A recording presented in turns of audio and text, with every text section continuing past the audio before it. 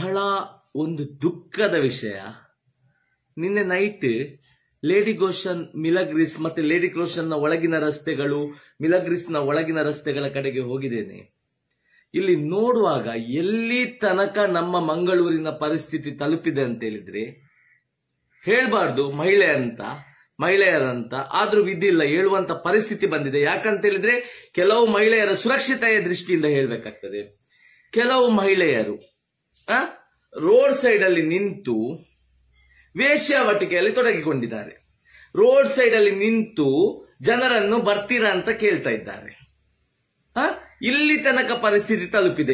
ಎಲ್ಲಿ ತನಕ ಪರಿಸ್ಥಿತಿ ಅಡ್ಡವಾಗಿದೆ ಅಂತ ಹೇಳಿದ್ರೆ ಆ ಮಿಲಗ್ರಿಸ್ ಅಲ್ಲಿ, ಲೇಡಿ ಘೋಷನಲ್ಲಿ ಒಂದು ಕುಟುಂಬಕ್ಕೆ ಸಂಬಂಧಪಟ್ಟಂತ ಒಂದು ಹೆಣ್ಣು ಮಹಿಳೆ ರಸ್ತೆಯಲ್ಲಿ ನಿಂತ್ರೆ ಅವಳ ರೇಟ್ ಕೇಳುವ ಪರಿಸ್ಥಿತಿಗೆ ತಲುಪಿದೆ. ಇದೊಂದು ಎರಡು ಮೂರು ಕರೆ ಬಂದಿತ್ತು ಮಹಿಳೆಯರದು ಹೀಗೆ ತಿಳಿಸಿದ್ರು, ನಮ್ಗೆ ರಾತ್ರಿ ಹೊತ್ತು ನಿಲ್ಲಿಕ್ಕಾಗಲ್ಲ ಅಂತ ನಿನ್ನೆ ಹೋಗಿ ಪರಿಸ್ಥಿತಿ ನೋಡ್ತೇವೆ. ಆ ಲೇಡಿ ಗೋಷನ್ ಎದುರಲ್ಲಿ, ಆ ಮಿಲಗ್ರಿಸ್ ಒಳ- ಒಳಗಡೆ, ಆ ಗಲ್ಲಿ ಗಲ್ಲಿಗಳಲ್ಲಿ ಈ ವೇಶ್ಯಾವಟಿಕೆ ಮಾಡ್ಲಿಕ್ಕೆ ಕೆಲವರು ನಿಂತಿದ್ದಾರೆ. ಹುಡುಗರನ್ನು ರೇಟ್ ರೇಟ್ ಹೇಳಿ ನಿಂತಿದ್ದಾರೆ. ಈ ನಮ್ಮ ಪೊಲೀಸ್ ಇಲಾಖೆಗೆ ಕಾಣುದಿಲ್ವಾ ಅಂತ ಕೇಳ್ತಾ ಇದ್ದೇನೆ. ಪೊಲೀಸ್ ಇಲಾಖೆಗೆ ಕಾಣುದಿಲ್ವಾ?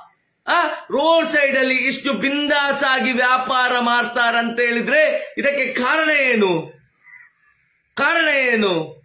ಯಾಕೆ ಈ ರೀತಿ ಆಗ್ತಾ ಇದೆ? ಆ, ನಿಲ್ಲುದು ಹುಡುಗರನ್ನು ಕರೆಯುವುದಂತೆ ಅಥವಾ ಹೋಗುವವರನ್ನು ಕರೆಯುವುದು ಡೈರೆಕ್ಟ್ ಅಲ್ಲೇ ಲಾಡ್ಜ್ ಅಂತೆ. ಅದಕ್ಕೆ ಅಟ್ಯಾಚ್ ಆಗಿ ಲಾಡ್ಜ್ಗಳು ಏನು ಡಿಪಾರ್ಟ್ಮೆಂಟ್ಗೆ ಗೊತ್ತಿಲ್ವಾ? ಪೊಲೀಸ್ ಇಲಾಖೆಗೆ ಗೊತ್ತಿಲ್ವಾ? ಕಾಣ್ತಾ ಇಲ್ವಾ?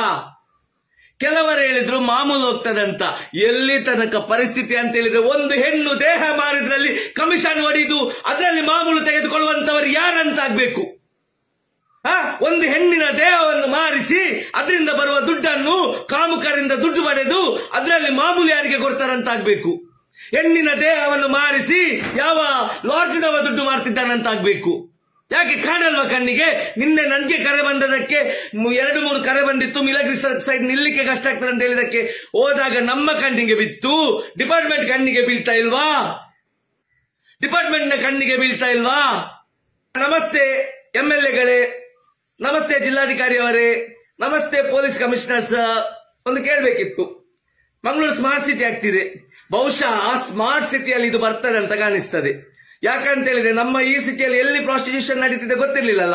ಈಗ road side smart city Mangaluru road side ಅಲ್ಲಿ ನಿಂತು ಅಲ್ಲಲ್ಲಿ ಕರೆಯುವುದು, ಆ, ವಿದೇಶದಲ್ಲಿತ್ತು, ವಿದೇಶದಲ್ಲಿ ಓಪನ್ ಆಗ್ತಿತ್ತು. ಇಲ್ಲಿಗ ಈ ರೀತಿ ಓಪನ್ ಆಗಿ ಸ್ಟಾರ್ಟ್ ಆಗಿದೆ smart city we are smart we are smart ನಿಮ್ಗೆ ನಿಜವಾಗಿ ಹೇಳ್ತೇನೆ, ಇದನ್ನು ನಿಲ್ಲಿಸ್ಲಿಕ್ಕಾಗದಿದ್ರೆ ದಯವಿಟ್ಟು ಹೇಳಿಬಿಡಿ. ನಮಗೆ ಇದರಿಂದ ಯಾರು ದುಡ್ಡು ತಗೊಳ್ತಾರೆ ಅವರಿಗೆ ಸ್ಪೆಷಲ್ ಆಗಿ ಹೇಳ್ತಿರೋದು. ಹೇಳಿಬಿಡಿ, ನಮಗೆ ಒಂದು ಹೆಣ್ಣನ್ನು ದೇಹ ಮಾರಿಸಿ ಅದರಲ್ಲಿ ಕಮಿಷನ್ ಬೇಕಂತ ಇದ್ರೆ ಓಪನ್ ಆಗಿ ಹೇಳಿಬಿಡಿ. ಅದಕ್ಕೊಂದು ವ್ಯವಸ್ಥೆ ಬೇರೆ ಕಡೆ ಮಾಡಿ.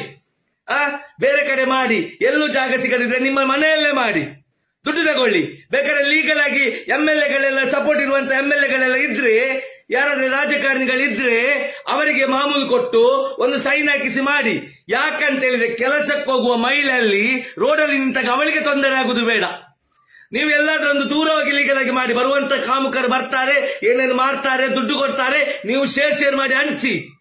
ಆ, ದುಡಿದು, ಬೆವರ್ಸಿರಿಸಿ ದುಡಿದು ಸಂಪಾದಿಸುವ ಯೋಗ್ಯತೆ ಇಲ್ಲದಿದ್ದಾಗ ಇಂತಹ ಹೆಣ್ಣು ಮಾರಿ, ಹೆಣ್ಣು ದೇಹ ಮಾರಿದಂತಹ ಹಣವನ್ನು ಯಾವ್ಯಾವ ಕಾಮುಕನಿ ಮಲಗಿಸಿ ತೃಪ್ತಿಪಡಿಸಿದ ಹಣದಲ್ಲಿ ಬದುಕುವವರಿದ್ರೆ ಎಲ್ಲಾದ್ರೂ ಒಂದು ಕಡೆ ಲೀಗಲ್ ಆಗಿ ಮಾಡಿ.